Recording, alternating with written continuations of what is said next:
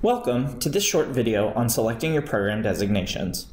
In this short video, we will walk you through choosing the designations to which you wish to apply and attaching your documents. When you have filled out the rest of the application and are ready to select your sites, click Residency Program Designations. From this screen, you will be able to select your designations. Please be aware that you do not need to select all of your designations at one time.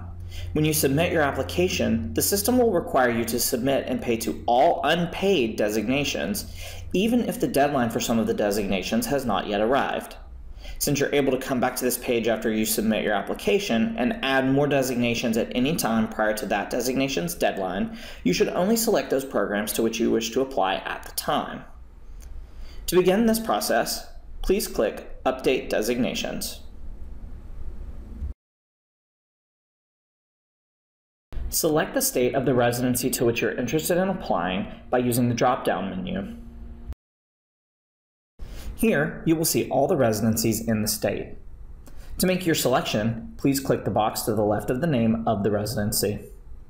You may select more than one. Be aware that the cost per designation is tied to the residency ID number.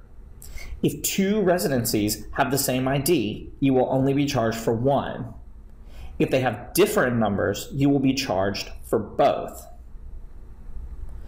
Once you've made your selections, click Save.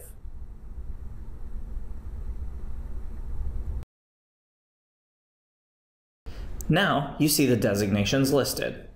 You will also need to attach the required documents and references by clicking the red lettering here.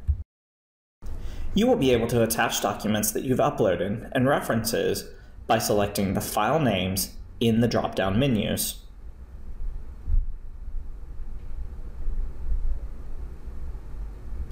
Once you've done so, click Save. Don't forget to attach the documents for all of your designations. Once you've completed that final screen, you can submit your application. In order to submit your application, click the eSubmit button at the bottom of the application checklist screen. Simply follow the directions from there to complete your payment. This concludes the PhORCAS instructional video on selecting your designations.